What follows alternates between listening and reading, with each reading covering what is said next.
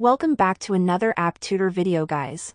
In this video, I'm gonna show you how you can see the first message on Instagram without scrolling. So if you want to check out the first messages that you have with some person but you don't want to scroll then follow my steps.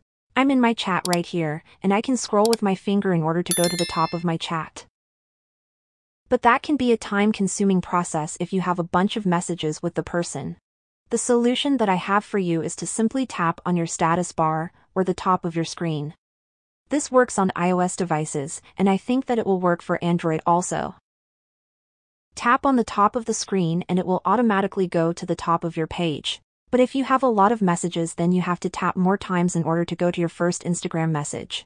There is no other way for now if you want to check this out on iPhone.